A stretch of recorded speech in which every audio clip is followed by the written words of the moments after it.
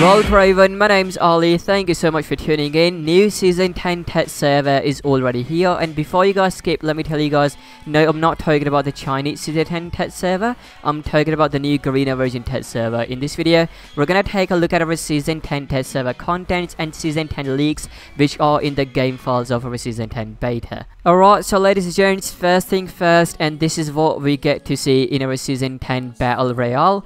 So this is hover ship from Advanced Warfare and it was found in our Season 10 test server game files. So currently they are completely useless, you guys can't drive it, they don't do anything, they're just there on our BR map placed as objects. So now looking at some predictions, this just could be a skin for dropship or this could also be related to our new BR map. Maybe it's that because of some live event that will might happen in the future but right now we don't have any confirmation. Now I don't know what that is but it seems like developers are planning something big for Recordim's BR and it makes me happy because they're not ignoring CODM's BR even though Warzone Mobile is coming. Moving on ladies and gents, we have two new guns that are coming in the future of COD Mobile. First of all we got the Lapa SMG and this SMG is from Call of Duty Black Ops Cold War.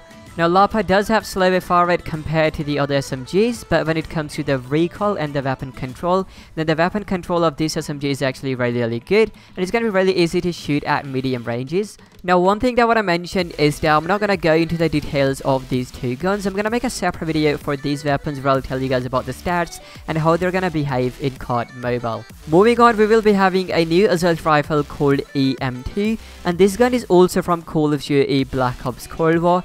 Now once again, this AR does have slow fire rate just like the SMG, but it does come with insane accuracy where if you guys are targeting a enemy on longer range, it's going to be much easier for you. In Cold War, on average, you guys do get kills with 3 to 4 shots on the body without any headshot. Now let's talk about the other things that are in our Season 10 test server. First of all, there's a new vehicle called the Hover Motor, and this vehicle can be driven on both water and on ground. If you guys want to know everything about this vehicle, then I've already made a video. You guys can click on the pop-up to watch that video. Next up, there was a new red perk added in our Season 10 test server, which is called the Pinpoint.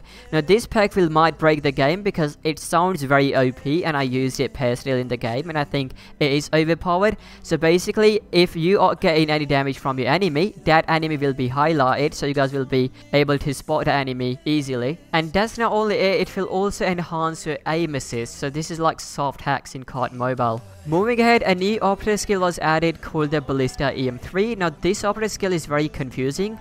It kind of works like Tempest, but instead of electricity, it shoots laser. My only problem with this operator skill is that you guys have to hold the fire button to build up the charge and then you guys have to shoot very accurately on the enemy. A new BR class was added in the stealth category and its name is Quick Strike so what it does is it blocks bullets from the front and then it slash to damage enemies. And this passive ability reduces movement noises so it's basically like dead silence in BR. There was a new multiplayer map added called the Crossroads and this map is from Call of Duty Black Ops Cold War. It's good to see a lot of Cold War content in a COD Mobile. First of all, this map is a medium-sized map and I overall like the look of this map as well because the trees are actually from like Warzone and then it kind of gives you Verdansk vibes and then the overall snow is giving you World War kind of vibes so it's really good map to play on. And also there are two versions that were added in our season 10 test server. One is for 5v5 gunfight and the other one is for 10v10 20v20 gunfights. A new battle royale mode was also added called the escorts now i tried playing this mode only once and i was so confused like what was going on. There's also no description but i'm gonna show you guys the whole gameplay of this battle royale mode as well as the new multiplayer map gameplay on my second channel so make sure you guys subscribe to this channel as well as my second channel. The link is in the description. So yeah guys without being said this is all we have in our season 10 test server right now and all we know about the future update of COD mobile. So i'll catch you guys in my next video. Remember peace love and unity. My name's ali and i'm signing out